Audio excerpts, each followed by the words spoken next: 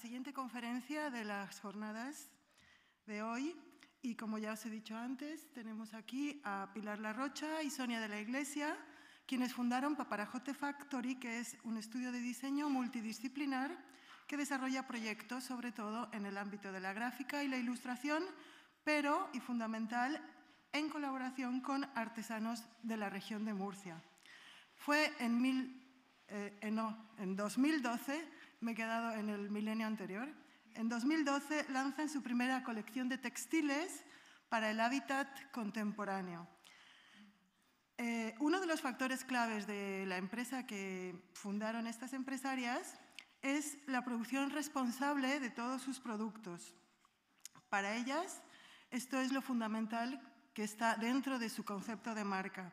Se trata pues de piezas que están fabricadas en su totalidad en España con materiales de alta calidad, algodones teñidos, estampados y confeccionados en talleres profesionalizados que tienen como norma, sobre todo, el respeto también a los derechos laborales. Nos van a presentar hoy la mm, conferencia Paparajote Factory Made in, Spain with care. Eh, me parece que es un ejemplo muy importante porque hace un momentito con Teresa y con, tanto como con la introducción que ayer nos hizo Heli en torno al ecodiseño y lo que hemos hecho hoy, eh, tenemos aquí y ha entrado en juego un factor muy importante que es el, el concepto de la utopía. O sea, realmente nosotros como diseñadores, como futuros empresarios o futuros profesionales del diseño, tenemos algo que aportar, esto es real, o sea, la utopía hacia la cual estamos todos enfocados se puede llevar al plano de la realidad.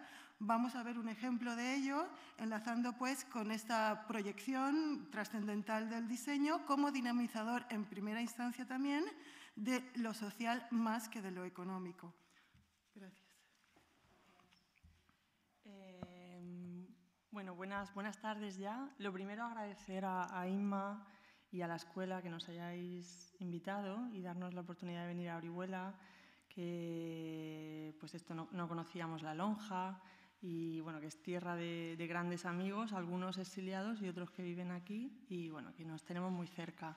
Y también agradecer a Teresa su magnífico análisis, siempre tan con ella aprendemos, seguimos aprendiendo y, muy enriquecedor. Eh, vamos a hacer una pequeña reflexión de, por, por, contextualizar un poco qué es, qué es lo que somos y de dónde venimos y hacer un barrido muy rapidito de nuestros últimos 10 años de trayectoria como, como, estudio de diseño gráfico, que fue el origen, eh, de dónde venimos y hacia, dónde caminamos. Em, eh, nosotras nacimos como estudio de gráfica fundamentalmente, eh, con incursiones en ilustración, en moda, en producto. Y bueno, durante todo ese recorrido fueron unos años en los que se trabajaba muchísimo y pues, pues tuvimos algún reconocimiento también. Eh, nosotras no solíamos presentarnos a muchos premios, pero siempre teníamos eh, pues algún premio nacional, algún trabajo para presentar y afortunadamente nos presentábamos a poquito, pero algo nos llevábamos. Y entonces pues, este, pues un, trabajamos varios años para un festival de títeres de la región, eh, junto también pues un poco por, por, por, filosofía de vida, estábamos muy conectadas con la asociación Murcia en Bici e hicimos bastantes trabajos con ellos. Eh, pues esto un ejemplo de una escuela infantil británica que la verdad es que tuvo en, en la ciudad bastante repercusión y estamos contentas, hicimos toda la gráfica aplicada. Y este, oye, esto que salta el gineo este.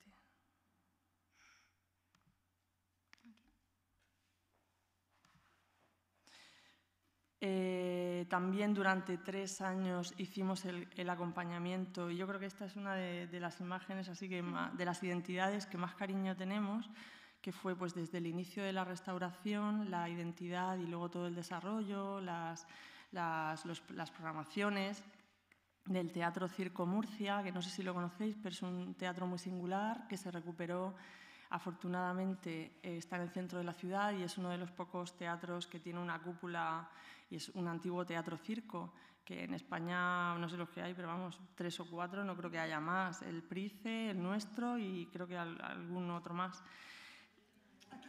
Aquí en Orihuela hay uno, fíjate.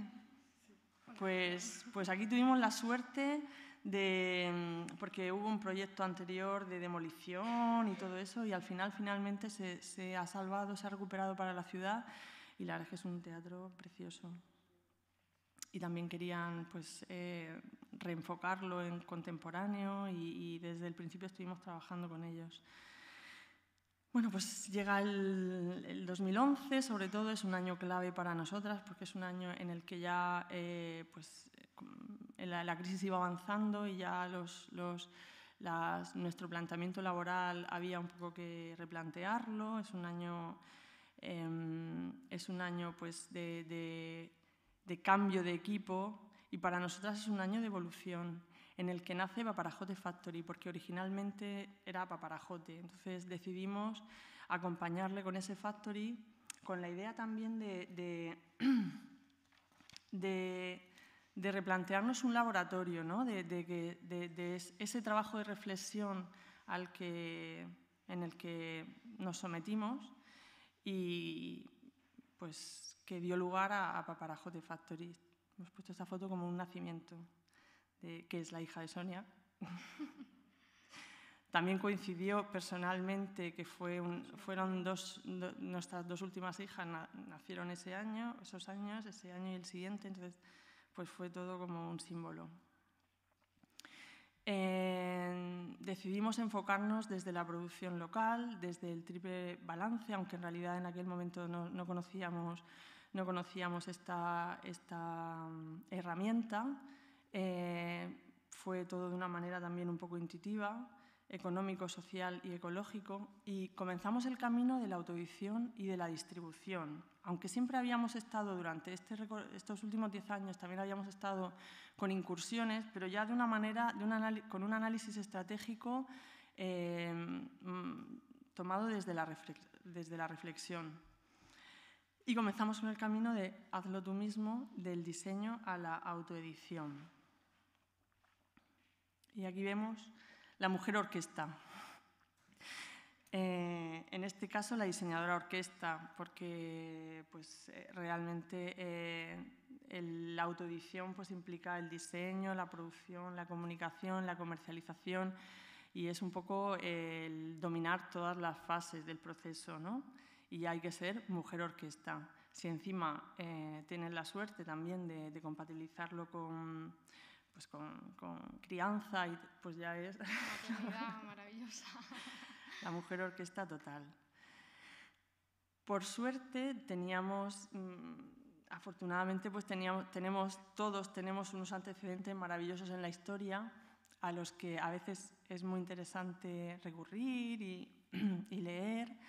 Eh, pues, pues gente pues súper importante ¿no? que han, han, iniciado también antes que nosotros caminos de autoedición. Entonces, eh, pues por ejemplo, no sé si los identificáis, pero tenemos este señor de barba ya del, siglo, del siglo XIX, William Morris, un británico, que no sé si os suenan sus papeles pintados y esto, este, este, señor y esa señora fueron pareja, que eran los, los, el matrimonio Alto, Álvar Alto y Aino Alto, finlandeses, que fundaron la Casa Artec.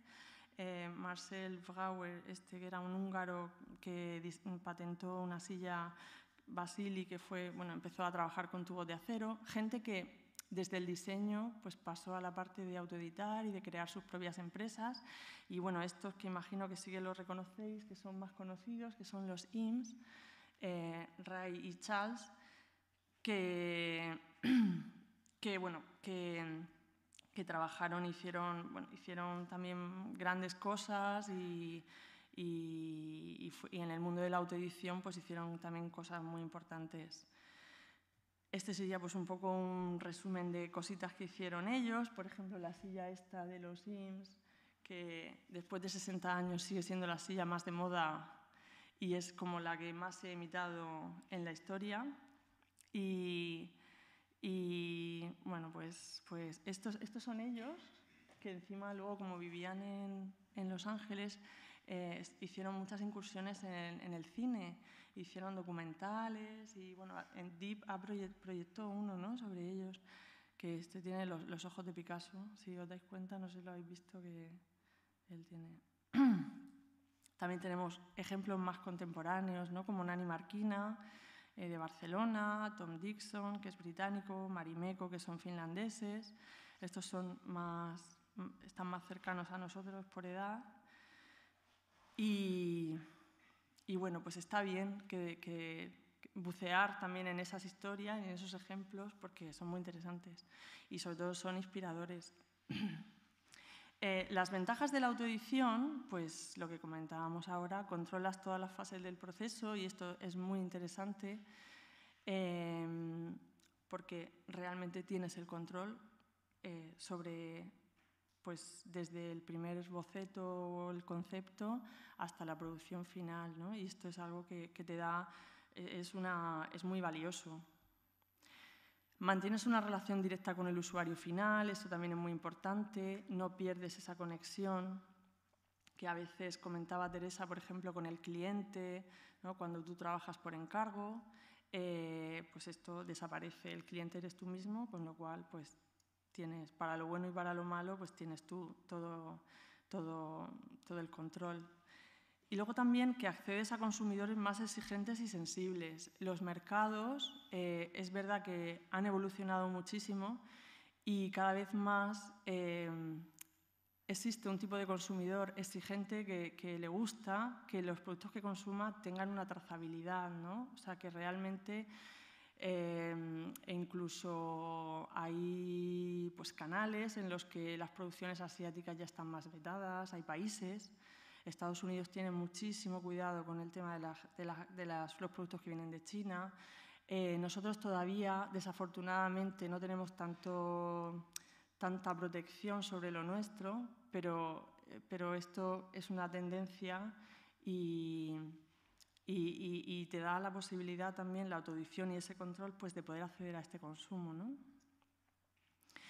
Eh, como símbolo de, de, esta evolución que tuvo Paparajote Factory, lo primero que hicimos fue rediseñar la identidad del estudio y entonces, eh, que fue, fue, premiada en Anuaria, eh, pues desarrollamos una identidad basada en, en, en, el, en esta, este cartón con microperforaciones en el que la placa estaba bordada.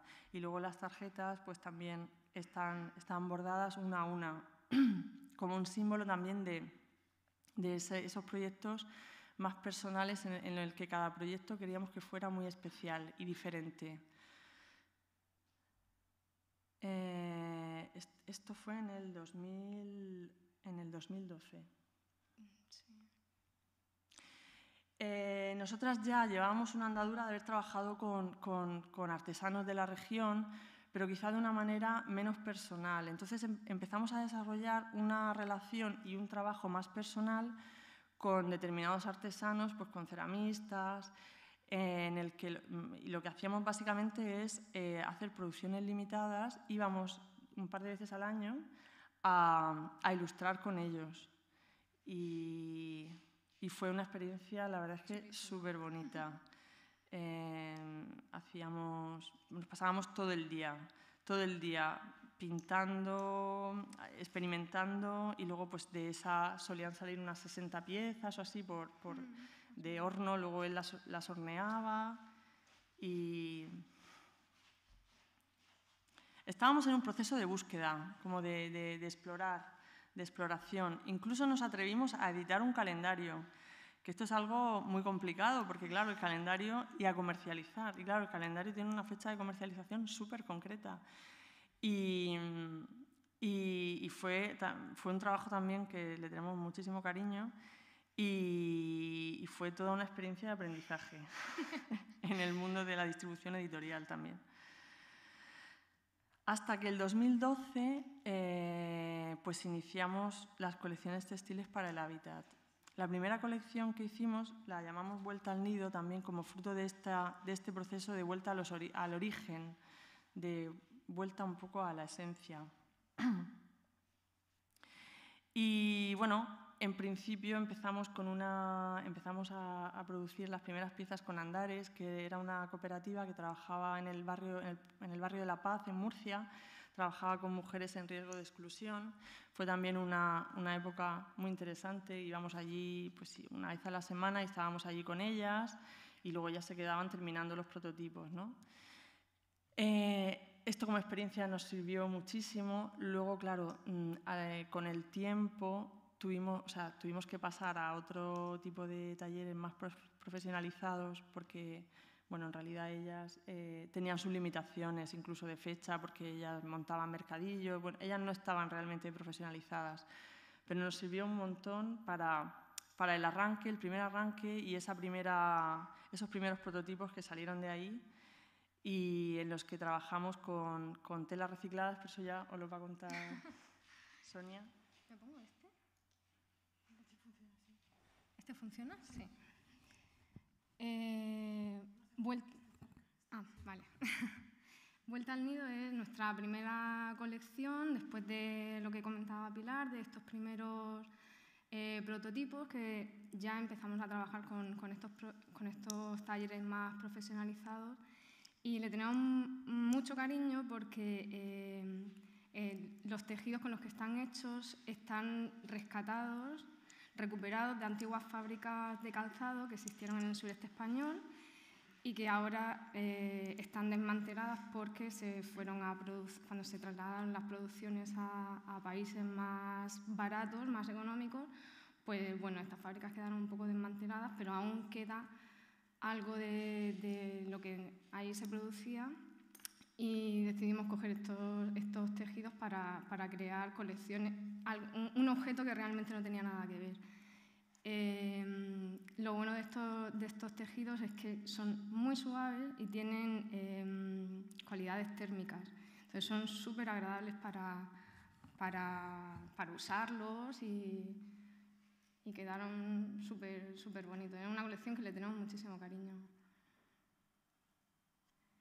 Eh, esta colección se llama Hidráulica, que está inspirado en los antiguos, en, los pavimentos hidráulicos que podemos encontrar en las casas eh, tradicionales mediterráneas y están hechos en, en algodón y son, están bordados.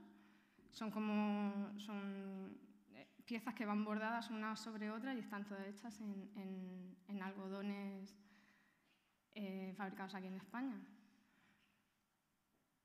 Esta es nuestra serie de criaturas que están... Todas nuestras colecciones están inspiradas en, en nuestra vida cotidiana. Y, y bueno, esta, esta, serie de criaturas eh, está inspirada un poco de ese mundo infantil y onírico Mm, que nos aportan nuestras hijas. Y, y, bueno, aquí nos gusta también jugar un poco con las dimensiones de las piezas. ¿no? Eh, en este caso, por ejemplo, la nube, que son, son piezas de, de, muchos tamaños, de muchos colores, son desde piezas muy chiquitinas hasta bastante grandes. Y, y, bueno, esta forma parte, esta sesión de fotos forma parte de un, del shooting que se hizo en Barcelona con la interiorista Neus Casanova y la fotógrafa Mónica Bedmar. Y una de estas fotografías eh, salió hace un par de semanas en el País Semanal, publicada, en un especial para niños. Y son todos algodones con eh, bordados, con el detalle bordado. Eh, esta colección se llama Organic y, bueno, está inspirada en la naturaleza, eh, son, también jugamos con los tamaños en, en, la pieza de las montañas, que son dos tamaños diferentes y son, o sea, está formada por, por hojas y por, y por montañas, que también están todos con, con apliques bordados. En tejido polar. En tejido polar sobre algodón. Uh -huh. y, y, bueno, estas tienen quizás la que tiene más marcado el diseño un poco eh, nórdico. En esta, en, la inspiración es un poco de diseño nórdico. Con la esencia mediterránea, porque el, el tejido este que nos da le llamamos old print, Este tejido es el tejido de las yayas, de, la, de los babis, de las señoras mayores. tradicional, este de cuadrito, negro y blanco.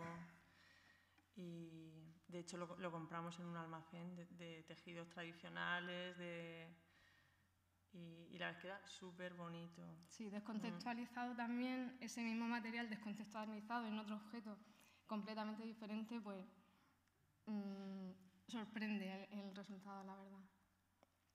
Y esta es nuestra serie Folk, que es la que de momento la única que tenemos eh, con estampación y en el que utilizamos bueno, pues, nuestras ilustraciones, en este caso también traídas a, a- a la estampación y jugando con los patterns para las piezas grandes, para los puffs. Y bueno, aquí cada pieza es un personaje y son personajes que nos recuerdan a lo mejor pues, a familiares o amigos o gente cercana.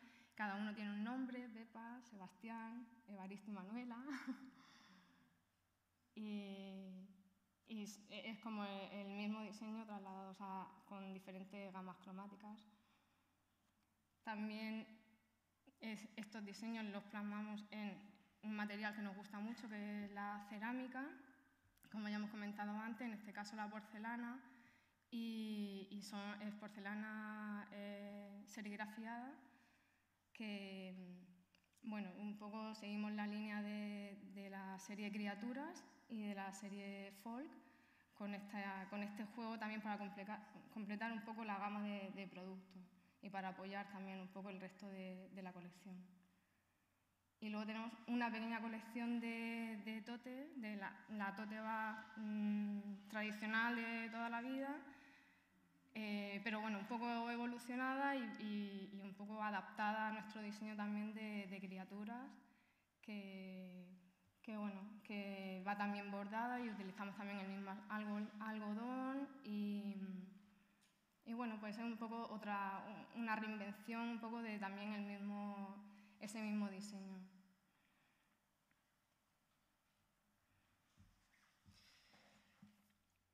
Bueno, pues eh, en definitiva, mm, ya mm, yéndonos de nuestro caso particular un poco a la generalidad, podemos estar hablando de un nuevo modelo de trabajo. Eh, nosotras queríamos, eh, em, queríamos compartir con vosotras esta, este modelo eh, desarrollado por Marcelo Leslavay, que la fuente es un libro que se llama Reset Design, es un análisis que realiza él junto con varios también analistas sobre los nuevos modelos de trabajo. Eh, mm, como veis, son como cuatro estadios o cuatro fases que sería diseño estratégico, producción local, comunicación global y distribución internacional. Nosotras cuando conocimos, descubrimos este libro, que además fue por Teresa, casi lloramos porque era realmente lo que nosotras estábamos haciendo, pero ver que hay un modelo, todo un modelo y todo un análisis internacional eh, que seguía esta, este mismo camino, pues la verdad es que nos, nos reconfortó. Entonces vamos a brevemente a analizar pues, cada una de las fases. Diseño estratégico, eh, que como ya se ha hablado, pues significa la contaminación, o sea, el diseño utilizado también de una manera estratégica y en el que eh, se contaminan todas las disciplinas del diseño. Producto, gráfica, interior, moda, web, arquitectura, mm, pues lo que hablaba Teresa antes de gastronomía, no sé, es que todo es válido, es que hay una contaminación actual que no podemos perder de vista y, y que además es que lo hace todo más interesante. Sería pues eso, como una batidora, una gran batidora. Eh, después la producción local, como, también como eslabón muy importante, en el que se utilizan materiales locales, proveedores locales, trabajadores locales y un local know-how. Eh, claro, esto al final también es, es importante desde el punto de vista económico, ¿no? porque al final tiene pequeño impacto sobre la economía local y esto también es, es- es, pues es un factor muy interesante. aquí os ilustramos con, varias fotografías, varias imágenes del proceso nuestro, ¿no? de cómo se cortan las telas estampadas, se meten en la máquina de corte, o bueno, un detalle de las, de las bolsas antes de prepararlas para los pedidos. En este caso, la, la colección Folk se corta cada pieza artesanal una a una, puesto que es importante que el diseño quede centrado al final en la, en la pieza del cojín. Y bueno, eh, este diseño estratégico, esta producción local, después pasaría a una comunicación global. Y en esto creo que todos sabéis igual o incluso más que nosotras, ¿no? Nuestras queridas redes sociales, eh, que son, cada una de ellas, son muy importantes porque te sitúan eh, eh, al mismo nivel que grandes empresas, que todas tienen su función y que se complementan unas a otras. Y bueno, que ya las conocéis muy bien. A nosotras la verdad es que mm, somos, somos bastante fans de Instagram, porque para el mundo en el que nos movemos es tan visual que te permite comunicar con imágenes de una manera muy, muy, muy interesante. Pero bueno, todas son Pinterest también, o sea, todas son... Después tendríamos como, como otra parte también de la comunicación, esta que hablábamos global, eh, pues relaciones públicas, gabinete de prensa, sponsors, patrocinios. O sea, estos son, serían como todos los eslabones que cualquier producto de cualquier proyecto de autoedición pues debería, eh, debería llevar, ¿no? O podría llevar.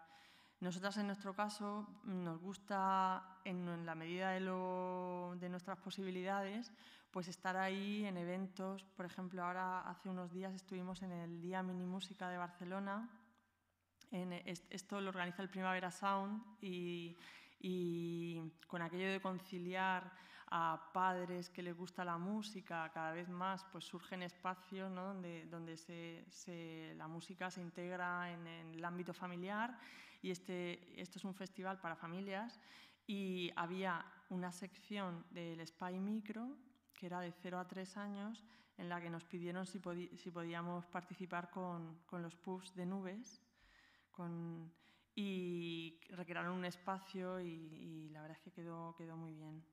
O por ejemplo, pues eh, participamos en una instalación en Murcia con motivo de distrito creativo que organizado de manera colaborativa por VIP, por la Asociación de Diseñadores, y sacamos un trocito de, de, como de un, de un salón a la, a la, calle como una manera también de reivindicar pues,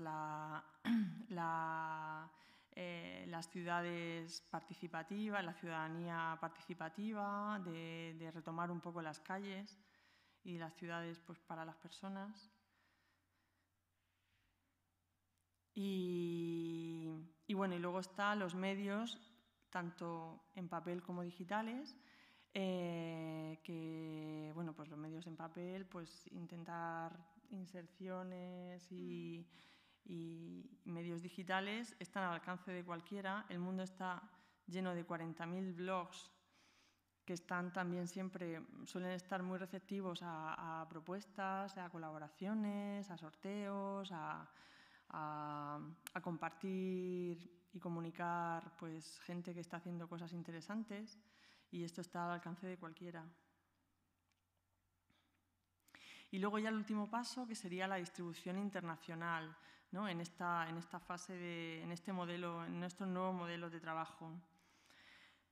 Pues la distribución internacional, también gracias a Internet, hoy en día es que está por lo menos la intención está al alcance de cualquiera. O sea, cualquiera puede desarrollar una ISOP, puede vender, eh, y si ni siquiera quieres desarrollar eso, pues puedes, hacerte una tienda en cualquiera de las plataformas de Etsy, Dawanda, Fairchanges, Pure and Chic o muchas otras que existen en el mercado y en, en, las que simplemente teniendo el producto pues te creas tu propia tienda. Este canal también de venta directa al público era lo que comentábamos, que de alguna manera eh, mantienes el contacto con el consumidor final. Esta es una imagen de Dawanda, que es una, es una plataforma de, de venta que está, es, es, muy, es, más conocida en Alemania que aquí en España, pero bueno, que también en España empieza, empieza a moverse bastante y funciona muy bien. Nosotras hicimos la tienda hace, pues a lo mejor un año y pico o algo así. Y, no, y sobre todo en Alemania funciona muy bien. y además hay un equipo detrás muy bueno. Eh, luego estaría otros canales, como es el, canal retail, las tiendas, distribuidores, agentes comerciales, hay todo un, un, mundo, pues canal retail, tiendas, pues estas son, eh, hemos traído ejemplos pues de, de, tiendas, esta es una tienda en Oviedo, de, que tienen nuestras cositas, y la verdad es que no, siempre nos mandan imágenes ¿no? cuando hacen escaparates o cuando son normalmente estas tiendas, estos espacios, no son ya tiendas, son espacios, surgen pues, eh, pues de, de, la mano de arquitectos, de interioristas, entonces cuidan mucho, el, el cuidan mucho todo, el, la ambientación y, y son, son, un concepto ya de espacio más que o un concept store o esta es una de... de de Plasencia, letra B, se llama letra B, unas chicas que hacen un trabajo también súper muy interesante. Eh, y después están las ferias internacionales, que también son parte del proceso muy importantes. Esto ya son un poquito palabras mayores en el sentido de que el acceso y el coste pues ya es más elevado, pero que también siempre surgen oportunidades pues también muy interesantes, ¿no?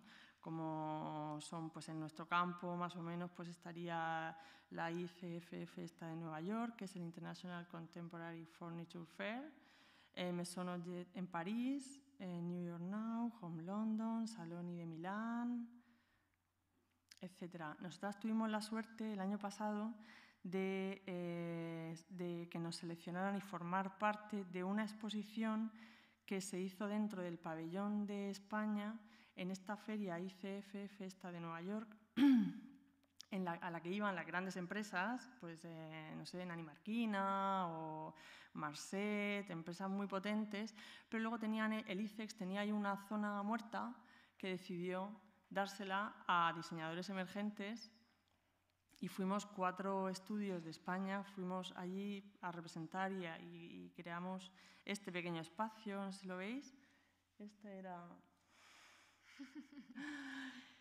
Chiquitín, en la superferia.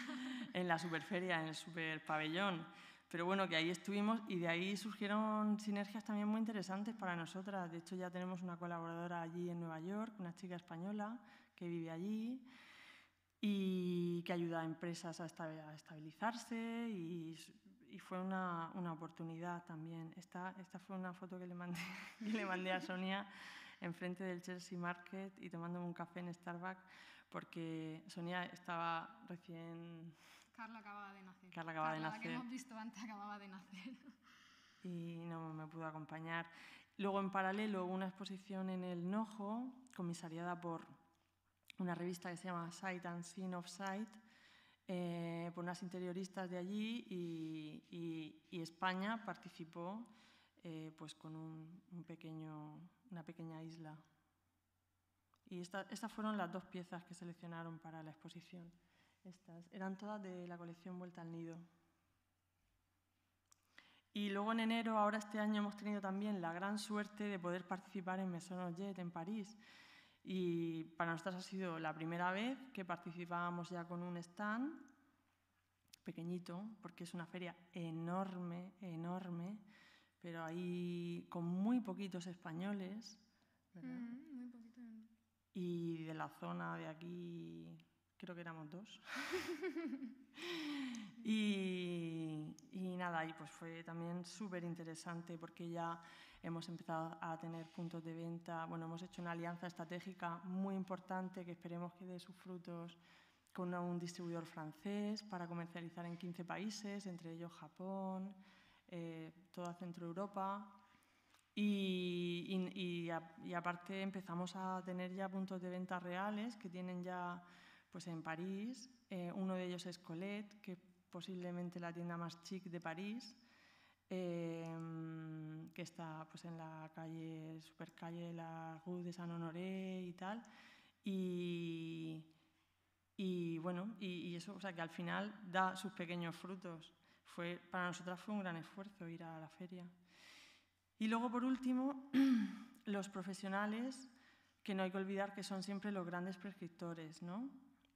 Cada uno en su ámbito de diseño en el que trabaje, pues, pues también esa colaboración mutua, que en, nuestro caso, uy, nos, nos, gusta que también nos manden imágenes. Esta es una clínica bucodental en, en Burgos, que nos mandó ayer o antes de ayer estas imágenes de cómo han colgado nuestros banderines y es un espacio súper bonito. Es en la zona infantil y aquí vemos las sillas IMSS. no sabemos si son las imitaciones o, las reales. Pero, y bueno, y eso, y que al final, pues, pues hay, hacer ahí sinergia pues es, es muy importante. Y ya por último, pues eh, unas conclusiones pues, de, eso, de, darnos cuenta de la nueva era o de, la nueva... Que, bueno, que, ya es una realidad, aunque en mayor o menor medida va llegando con mayor o, menor velocidad, pero que ya es una realidad eh, y que se basa en nuevas formas de diseñar, en nuevas formas de producir y sobre todo, y lo que es más importante, en nuevas formas de consumir. Y ya está. Y luego ya para finalizar, os queríamos poner un vídeo pequeñito, de, muy cortito. Aquí. Esperemos que funcione porque el internet se lo estoy dando desde mi móvil. ¿A pantalla completa? Menos sanos. Millones de personas tienen dificultades para encontrar un trabajo. Lo que consumimos nos hace menos sanos. Millones de personas tienen dificultades para encontrar un trabajo. Sigue existiendo la esclavitud. Todas nuestras decisiones de compra tienen un efecto en el entorno. Con nuestro consumo diario podemos cambiar el mundo. Hemos creado Fair Changes como el mercado online donde comprar y vender productos y servicios medioambientalmente responsables, sin intermediarios, sin esclavitud ni trabajo infantil. Los creadores y productores sostenibles pueden registrarse y anunciar sus propios productos y servicios fácilmente en fairchanges.com.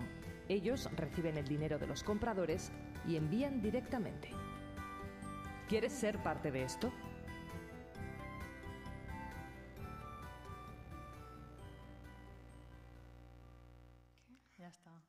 Lo hemos puesto también porque salía alguna pieza nuestra por ahí metida. se sale muy rápido, no se ve. Pero que nos la pidieron para hacer el vídeo y, nada, y se la mandamos. Es una de las plataformas como Dawanda, mmm, también, que funciona también a nivel internacional, bastante, bastante potente y muy recomendable. Y ya está, por nuestra parte ya está. Muchas gracias. esperamos que os haya gustado.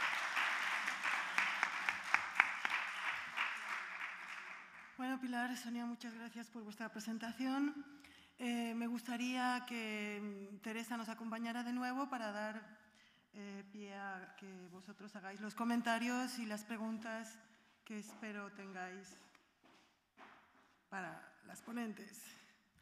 Y en todo caso, mm, aquí tenemos el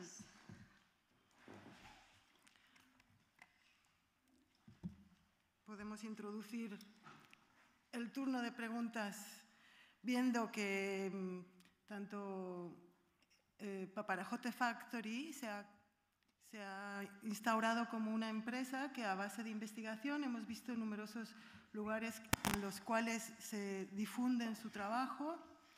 Eh, de todos modos, sí me gustaría en primer lugar, Teresa, o sea, los estudiantes que tenemos aquí presentes, ¿qué les aconsejaríamos entonces para este tipo de desarrollos proyectuales que, sí se han convertido ya en una realidad, como los de Paparajote Factory?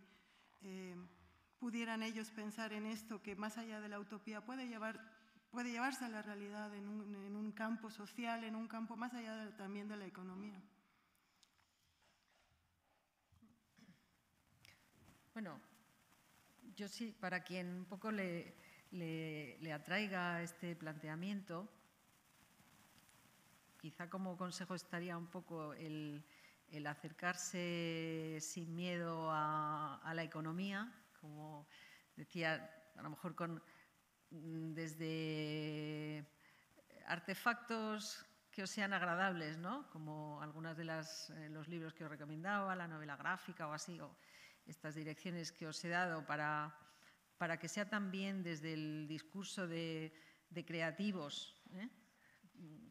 que, que, que, como yo misma nos hemos acercado ahí, no desde la parte un poco más, más dura y especializada, digamos eso como un acercamiento de aprendizaje y luego sobre todo pues esta, esta forma de aprender haciendo que es también como creo que nos salen las cosas, ¿no? Porque también mm, todo esto no estaba pensado de antemano y sin embargo yo hoy descubro en esta ponencia de mis compañeras algo esencial para mi trabajo, vamos, lo necesito, necesito para completar lo que yo hago, que es un poco esta comunicación inicial, esta, materialización concreta ¿no? de lo que es llevar a la realidad, este caso práctico para mí de éxito total, para poder transmitírselo a su vez a más gente y amplificar este, este mensaje, ¿no? de que otra economía es posible mmm, y además donde los, los, diseñadores tenemos algo valiosísimo ¿no? para, para ofrecer a la sociedad. Bueno, esto ocurre por esta hibridación, por este planteamiento abierto, ¿eh? de, de, escucha, de hibridación, donde vas viendo que otras personas justo construyen eso que tú necesitas y además eh, hermosísimo, bien, bien planteado y, emocionalmente pues más bello, por ejemplo, ¿no? que mis propias palabras.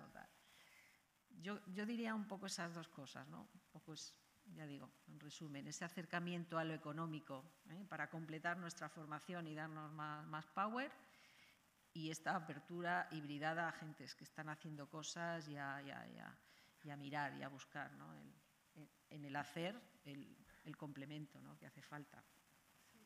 Eh, Pilar y Sonia, habéis hablado de, de, que encontrasteis un nicho muy adecuado justamente en la línea de lo que también había comentado Teresa, ¿no? ese coworking, no solo con otros empresarios y con otros diseñadores, sino con, detectando esos espacios sociales muy importantes que os han nutrido y se, os habéis nutrido mutuamente, me imagino. ¿Cómo fue esta experiencia así específica?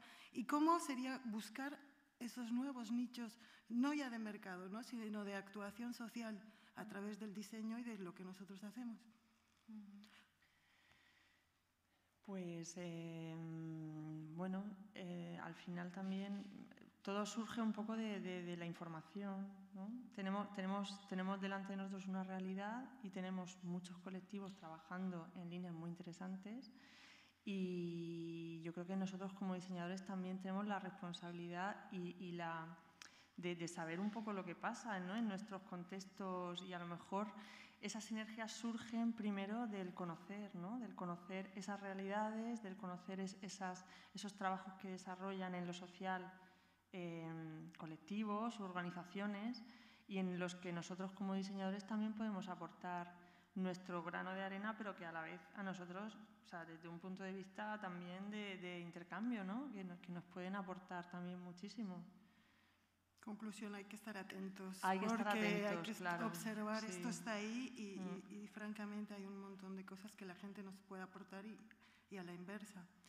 Pues damos pies y a vuestras preguntas. Eh, Mm.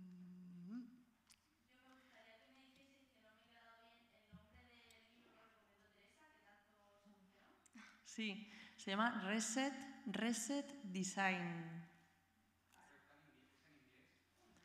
Eh, no, es bilingüe, sí. Sí, sí, sí, sí, sí. Sí, no tiene. Mm.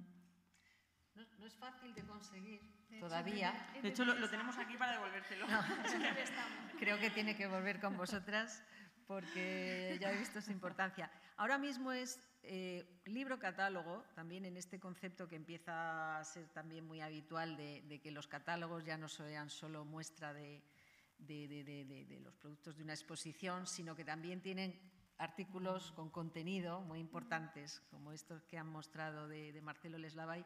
Y ahora mismo no sé si está muy accesible, vendible, porque va a formar parte de una exposición de, gente que autoedita, que como ellas, en este rol tan, tan interesante y tan, tan valiente y tan pionero, eh, estudios españoles que se autoeditan, autoeditan sus productos. ¿no? Después de haber hecho periplos por ahí para ver quién se lo podía producir, decidieron estos diseñadores de producto hacerlo ellos mismos. Y entonces una exposición, está concebido para una exposición que iba a moverse sobre todo por Centro Europa y que todavía no hemos visto. Hemos visto el, el catálogo y el libro. De todas formas, yo creo que parte de esos, los que son los contenidos, sí podremos hacerlos públicos sin duda. ¿eh? Eh, aunque el, libro en sí físico no esté, no esté disponible. Lo podemos mirar, ¿eh? porque también mm. es gente de, nuestro entorno, pues como vosotros, ¿no? Pero bueno, en Madrid en este caso y personas que, están cercanas como para poder eh, pedir permiso. Yo creo que quizá incluso digitalmente se, se encontrará, ¿no? Sí, pero vamos, lo, vamos a, mirar, Lo vamos a mirar porque es verdad que es muy, muy interesante, mm. sí.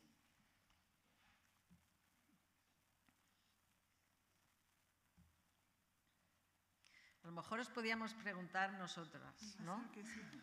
Porque al menos para mí es muy importante saber un poco a qué suenan algunos de estos conceptos y cómo ajustar mejor mi, comunicación, ¿no? Es verdad que si, si tuviera mucho más tiempo, si fuera mi única dedicación ahora mismo, pues lo tendría mucho más trabajado, ¿no? Para, bueno, para, estar más segura, ¿no? De que, de que se entiende y tal pues le dedico el tiempo que, puedo, que siempre es menos. Pero me gustaría sí un poco saber un poco vuestra opinión, si, es, si suena nuevo, si no suena, si suena, eh, si ilusiona, si se ve coherente, si se entiende sobre todo. y si os parece todo, bueno, eh, si, ya forma parte de lo habitual o todavía lo veis innovador. Yo quería, bueno, no sé si mientras pensáis y eh, yo quería también una última reflexión hacia ellos, que se supone, o sea, que, son ahora mismo eh, proyecto de diseñadores, que seréis diseñadores futuros, el deciros que os acerquéis, que eh, trabajéis en el ámbito que trabajéis, que estéis siempre muy cerca de la producción, que en el ámbito de la gráfica, en el ámbito de, producto, de lo que sea, de la moda, que estéis siempre muy unidos a la producción, que ya no vale eso del diseñador que hace así, plom, manda el archivo y adiós muy buena, nunca se sabe ya lo que, ¿sabes? Sino que, que ese, ese, trabajar junto con el neoartesano o la industria gráfica o, lo que sea, ¿no? que, que, que, sea como, como pues que sea que esté muy de la mano porque eso va a dar a vosotros también mucha riqueza, mucho aprendizaje y al final el resultado va a ser siempre muchísimo mejor. Y lo mismo que en Estados Unidos, el movimiento Makers, que, que realmente ellos eh, son neoartesanos, o sea, los diseñadores han pasado a ser neoartesanos y además muy cotizados. Pues ese movimiento un poco del, del hacer o de por lo menos estar muy cerca del artesano, a todos los niveles, pues a nivel cada uno en su ámbito, que, que lo, que, que lo tengáis siempre ahí.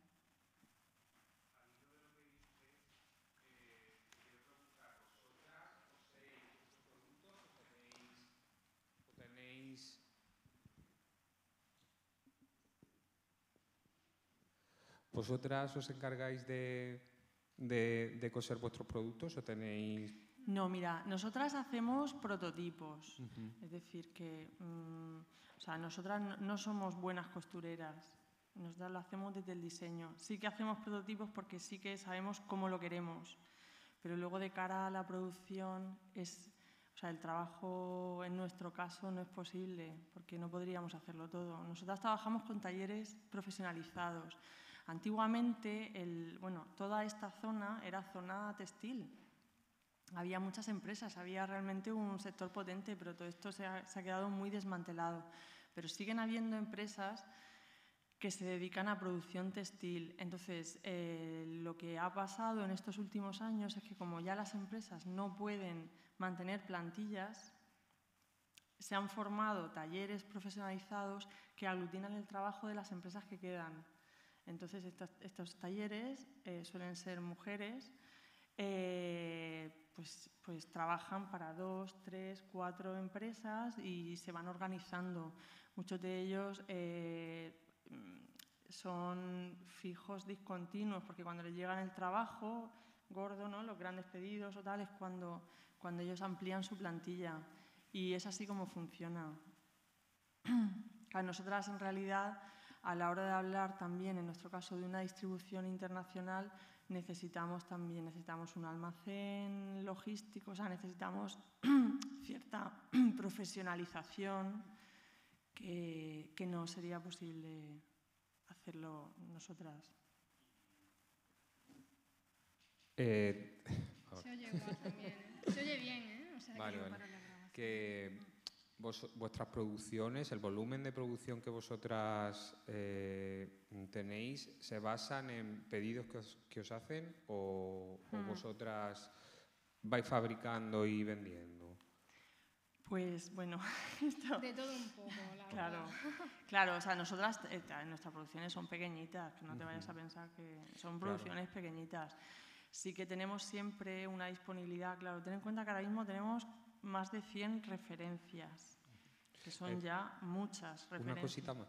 Explícame un poco el proceso, ¿vale? Desde que eh, hacéis el prototipo de una pieza nueva hasta que la lleváis a, a, vender? Sí.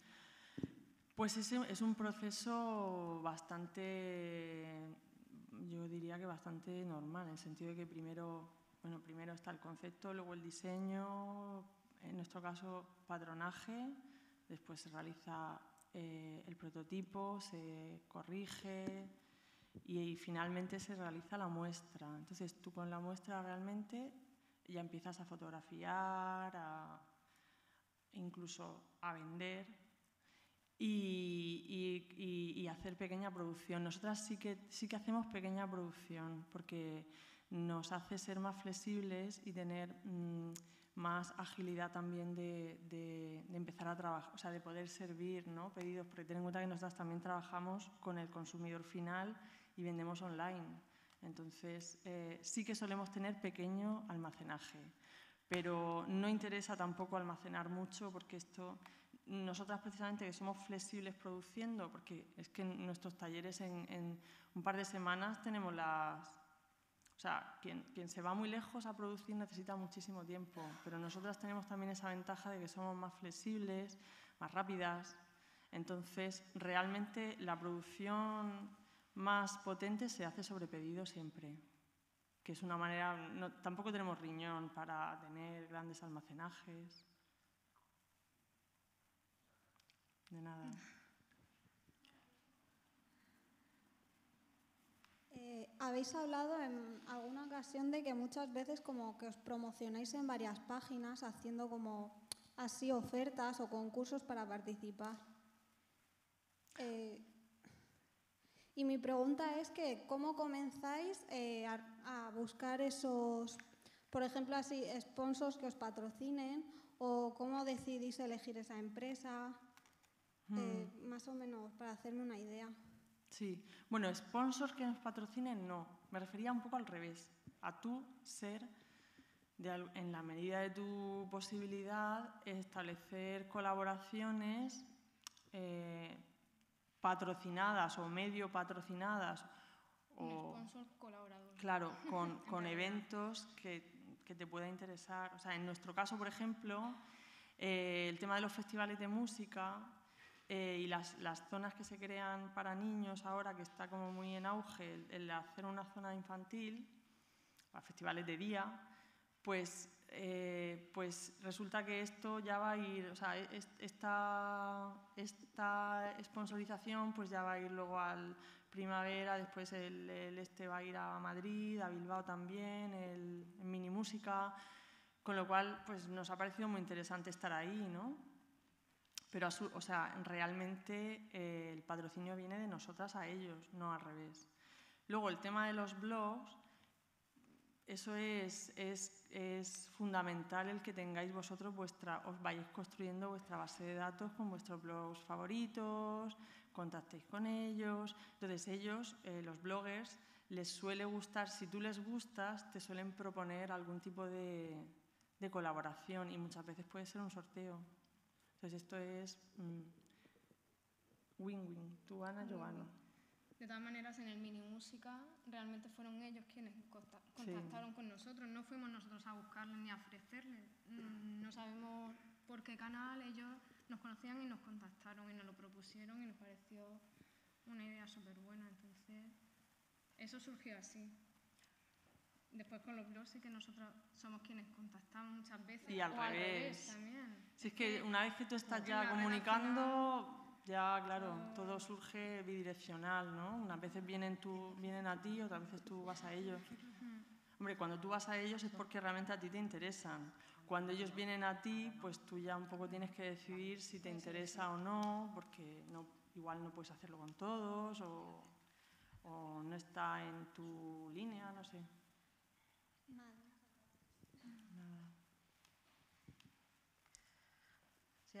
No, hemos, no, hemos, citado a lo mejor un poco también la, conexión entre el mundo virtual y el mundo físico, que en siempre estuvo muy claro, ¿eh? porque además han tenido tienda de eh, venta al público directa durante mucho tiempo y además una tienda preciosa lado de la Catedral de Murcia, o sea que también la, experiencia del contacto directo con el usuario la han tenido y yo también personalmente la, defiendo para vosotros diseñadores. En esa hibridación, en ese contacto directo, desde luego, saber lo que el consumidor está pidiendo ¿eh? es clave.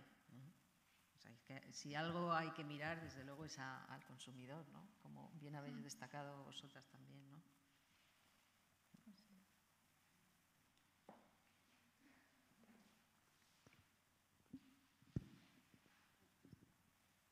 Hola, buenas. Eh, habéis comentado al principio que cuando empezasteis con a crear la línea tal, eh, en, o sea, en esto de la ecología, que es de lo que va a originar este año, que conseguisteis las telas de fábricas que se habían cerrado y tal.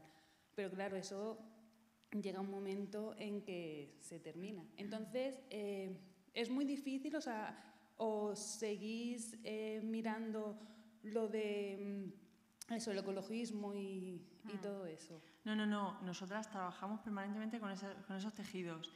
Eh, lo que nosotras encontramos fue eh, que en esta zona en concreto de nuestra región, donde antiguamente era tradición, zona de calzado, también muy relacionado con el esparto, porque era zona de esparto, de, donde el esparto surgía en el, en el monte de manera natural, eh, y, no sé por qué también surgieron como fábricas de, zapatillas de estar por casa, ¿sabes? cosas, botines. y botas.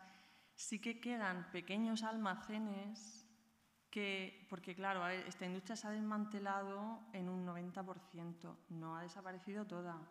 Entonces nosotras, Sonia y yo, de vez en cuando somos poligoneras, que es que nos vamos a los polígonos. Que nos encanta. y encontramos tesoros. Entonces, esta empresa sigue trabajando, solo que, solo que trabaja para muy pocas, pero, pero sí que sigue habiendo, o sea, sigue habiendo empresas que siguen fabricando en España. Desgraciadamente no es, o sea, es, es un reducto de lo que era, ¿no? Pero también pensamos que volverá, que al final, no sé, no todo volverá, pero sí que volverá una parte a lo mejor más. Sí, yo eh, de, este tema sobre lo textil, que cuando he hablado así con diseñadoras de la Asociación Amiga, se ve que también la dificultad está en las materias primas. En muchísimas ocasiones, claro, cuando hablamos de Asia, del predominio ¿no? de, Asia, pensamos siempre en el trabajo incluso esclavo, o desde luego barato, y producción eh, brutal y salvaje, pero también es cierto que se, que se copan eh, la producción de las materias primas, ¿no? No es solo un, asunto de recursos humanos. Eh, esas, claro, eso que hace que también lo que tenemos disponible para crear a veces es limitado. O sea, esas telas que habéis sacado de los babis, esa, bueno, estos, estas otras textiles Si no se producen allí, que bueno, pues va de otras cosas más sintéticas o sedas o tal, pues lógicamente reduce la, la capacidad de crear, ¿no? Pasa un poco lo mismo con, creo yo, con la industria gráfica y el papel, ¿no? Cuando no se consume masivamente, pues te resulta más difícil eh, decir, oye, es que me gustaría un papel con estas características. Bueno, pues quien lo tiene que traer, las imprentas no te lo traen tan fácilmente, ¿no? En esa, en esa sensibilización hacia otros materiales también nosotros tenemos algo que decir. Yo creo que es fundamental, ¿no? En la medida en que no nos eh, conformemos con lo existente, con lo que se produce en masa, con lo que se produce y es fácil, sino eso que nosotros queremos que tenga una cualidad especial o que sabíamos que existía, que lo hemos visto, lo hemos tocado. ¿no? Esa es la manera también de, trabajar para que una industria se reactive o un determinado sector se reactive, desde luego con, con la demanda. ¿no?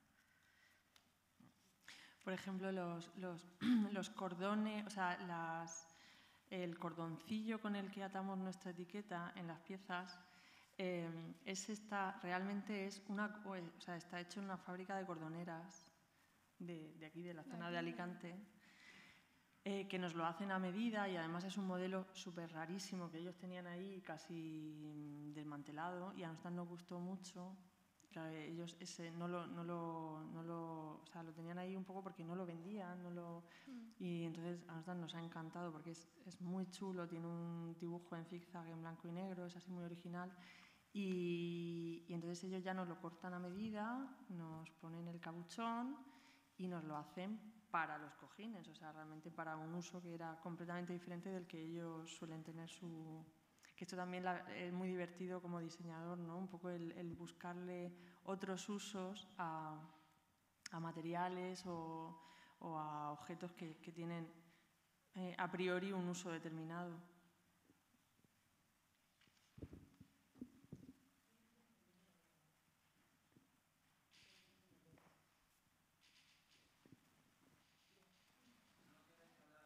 Buenas.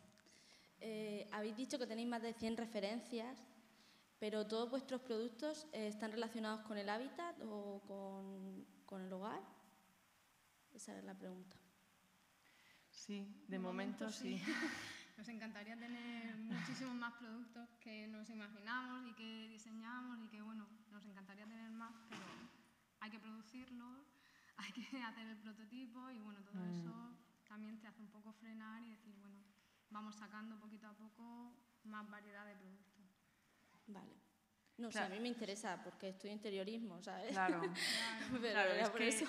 también, claro, concentrar es muy interesante, ¿no? Porque si, si igual tocan muchos palos, al final los canales son muy diferentes, las ferias son muy diferentes, la comunicación, entonces...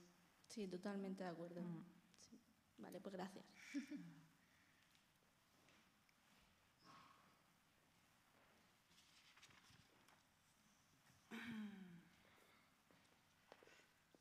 yo, me quedo con ganas de hacerles una pregunta, ya que las tengo aquí, porque aunque mm, vivimos en Murcia y coincidimos en muchas cosas, incluso en algún proyecto, y espero que haya muchísimos más, es verdad que siempre falta un poco de tiempo para algunas cosas más.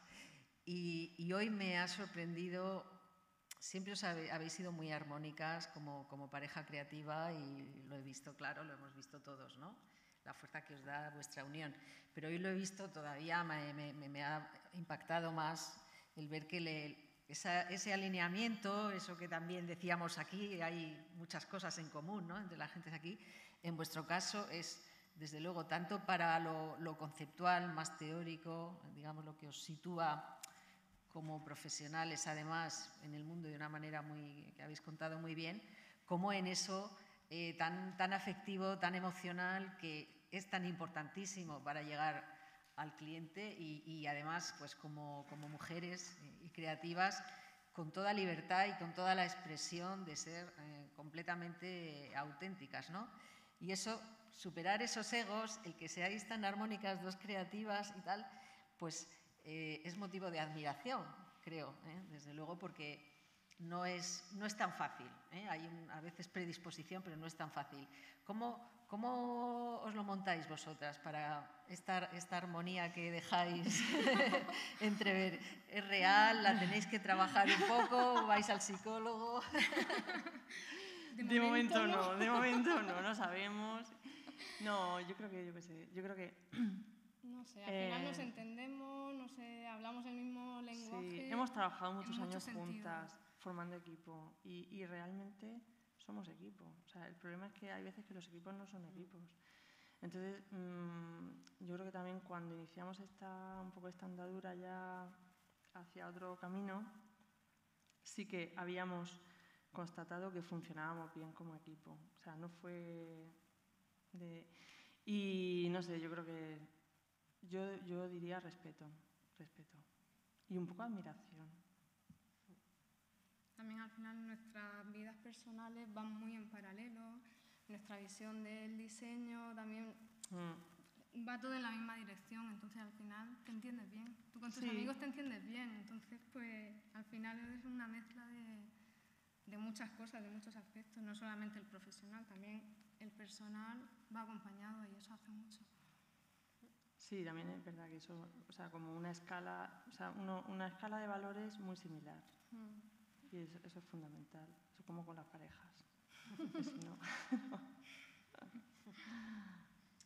En la escuela hemos visto varios casos también de estudiantes que han, han pues, desarrollado su proceso de aprendizaje aquí en la escuela y luego con el tiempo han creado también asociaciones, se han agrupado, un poco como lo que nosotros, vosotros nos estáis contando. ¿no?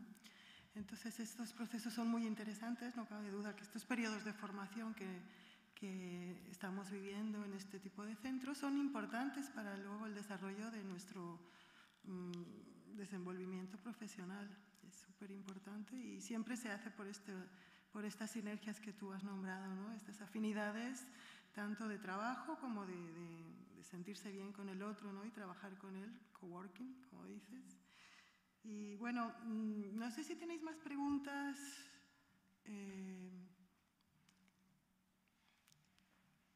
yo quería, yo quería incidir en una cosita, nada más, que antes me ha hecho mucha gracia cuando has, la has citado. Tú no sé si se hacía referencia a, esto que has citado, Econoplastas, econoplastas.org. Me ha llamado mucho la atención esta forma, o que sería como una especie de eslogan, un claim que decía, ¿quieres que la econosuya sea econotuya? Entonces me parecería un punto interesante como para cerrar esta, esta reunión que nos ha mantenido aquí con vuestras charlas. Es, es decir, em, ¿cómo podemos conseguir a través de este aprendizaje y de nuestro posterior desarrollo profesional que justamente esa economía que nosotros vemos como algo ajeno a nosotros los que estamos en este proceso de, de aprendizaje y vosotros que ya estáis en esa otra parte, ¿cómo hacemos que eso que lo vemos tan macro, algo que no nos pertenece, nos metemos, nos zambullimos y lo hacemos nuestro, ¿no? Si era de Econoplastas, súper interesante, ¿no? Y creo que hacia eso tenemos, o sea, sentirnos parte de eso, desde esa utopía lejana, nos puede permitir zambullirnos de una vez, ¿cierto? Sí, yo, ¿no? Lo vemos claro, sí. Sí, quizá también lo de piensa global, actúa local. Piensa global. Y actúa, local. Actúa local. Ahí es no dar nada por supuesto también. Por eso también, por ejemplo, en este gremio de economistas, para mí descubrir que hay gente que también, pues como, como yo misma, ¿no?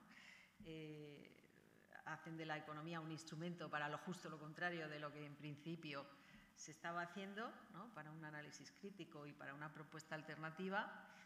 Eh, es eso, no dar nada por supuesto, abrirse ¿no? esa, esa, hibridación con otros, con otros profesionales que están en la misma dirección que nosotros, que también además lo hacen con creatividad porque unen distintas disciplinas, ¿no? y en este caso también el, el diseño gráfico, etcétera, es lo que hace también nos da confianza para, para, pensar que ese futuro mejor está más, es más alcanzable de lo que parece, o sea que veremos algo, veremos los frutos. ¿no?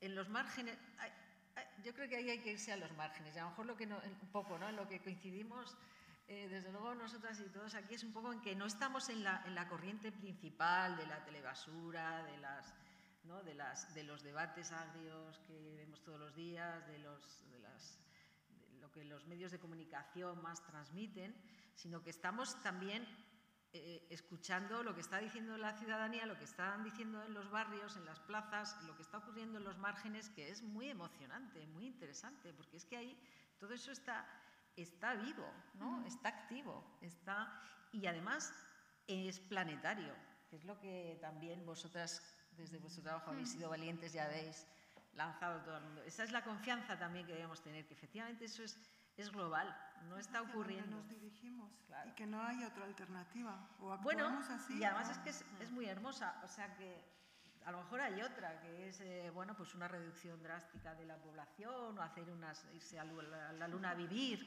pero a mí esa no me interesa, sinceramente, ¿no?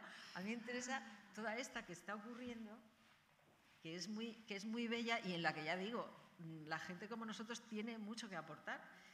Solo que hay que hacer un hueco, porque lo tradicional es, por ejemplo, que para hacer empresas se llame, pues eso, a un economista, o a un abogado, o a un... ¿eh? a un consultor que tiene un poco de todo eso. ¿Y por qué no a un diseñador? ¿Eh?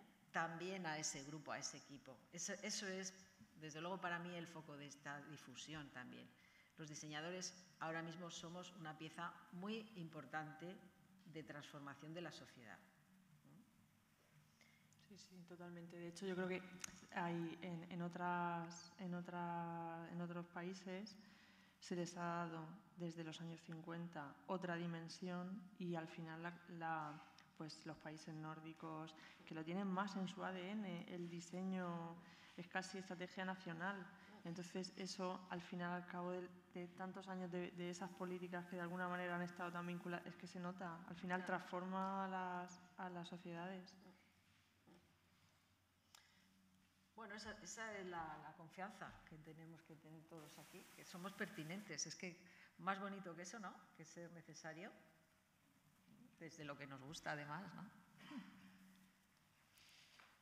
Bueno, pues eh, si no tenéis más preguntas, pregunto en última instancia que... Sí, sí, sí, sí hay una pregunta todavía. Vale, eh, la pregunta es sencilla. Yo conocí la antigua empresa Paparajote, recuerdo que hacíais de todo, merchandising, diseño web, diseño de objetos. ¿Qué os llevó a dedicaros únicamente al diseño de objetos para el hogar, de producto? Bueno, pues esa, ha sido, esa ha sido un poco la evolución que hemos ido buscando, ¿no? Después de la locura de trabajo de los años, esos años un poco del boom, ¿no? En los que pues, pues se trabajaba muy intensamente y, después de unos años también en los que pues eso, hubo un replanteamiento, hubo también una ruptura de equipo, dio lugar a dos empresas diferentes, pues nosotras eh, en el 2012 fue cuando surgió Paparajote Factory y cuando, cuando iniciamos nuestra nueva andadura nos queda de, todo, es que claro, es que nosotras en realidad llevamos 15 años trabajando, es que tenemos andadura, tenemos a ya.